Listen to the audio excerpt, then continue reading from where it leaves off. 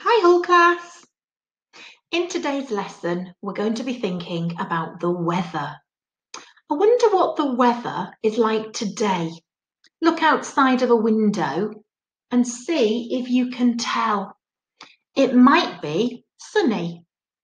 The sunshine might be in the sky and the day might be bright. It might be cloudy, and if there's clouds, sometimes they look like fluffy cotton wool in the sky, don't they? It might be a little bit windy. So maybe if you've got some grass in your garden or you can see a tree outside, you can see the leaves blowing. It might be rainy. We do need the rain to help everything grow. There might be a storm, so you might hear thunder or you might see some lightning in the sky. Hmm, I don't think it will be snowing. In July, it does not snow in England. Okay, let's have a little look and see if you can guess this type of weather. Are you ready? Shout out when you know what it is. Oh, it's the sunshine. And he's got a lovely smiley face or she's got a lovely smiley face.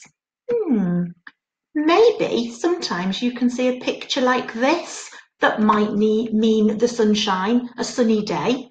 I can see somebody with a that's got a lovely drink and a pair of sunglasses. I think that's a bit of sand down there because often people like to go to the beach when it's nice and warm and sunny. Let's try this one.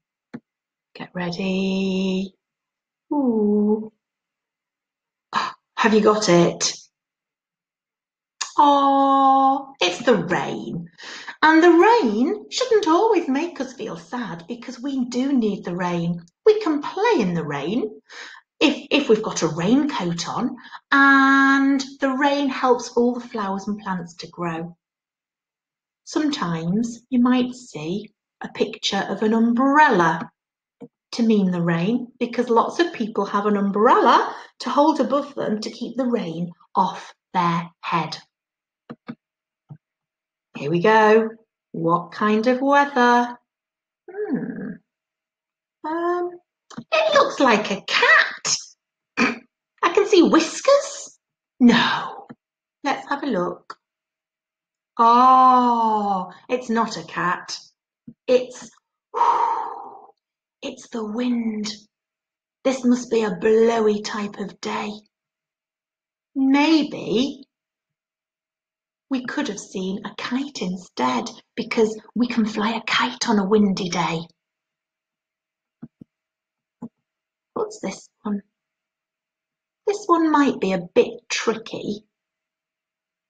Hmm, this one, you might see this one if something is frozen in your freezer or on a packet of food that's frozen and very cold. This one means the snow. Let's see what else we've got here. Ah, we've got a snowman. Here is a snowman, big and white. Isn't he a funny sight? Let's make a snowball, throw it at his hat. Off it falls, just like that. Oh, the poor snowman. Let's see this next one. Are you ready? Ooh, hmm. Well, it's a beautiful rainbow, but what kind of weather do you think we need to make a rainbow? I know, I bet some of you know too. You need a little bit of sunshine and a little bit of rain. And when those two weathers come together at the same time, you might see a rainbow in the sky. I like rainbows. I wonder if you can draw me the weather that it is today. You can draw it on a piece of paper. You can draw some pictures of what you think you might like to do in that weather. And if you want to draw me pictures of lots of different weathers too, then you can do that. This is our last lesson today, Hull class. So there won't be any more videos now over the summer because we're going to be on our school holiday. But I'm looking forward to seeing you in September and we'll have a very, very lovely time together, I know. So keep safe, listen to your grown ups to keep safe, and I will see you very soon. Grown ups, if you want to send me a photo of their work, that would be lovely. See you soon. Bye.